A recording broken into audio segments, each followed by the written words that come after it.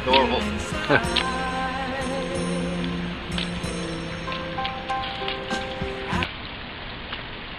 Okay, Zoe, we have to go home now. We have to go home inside.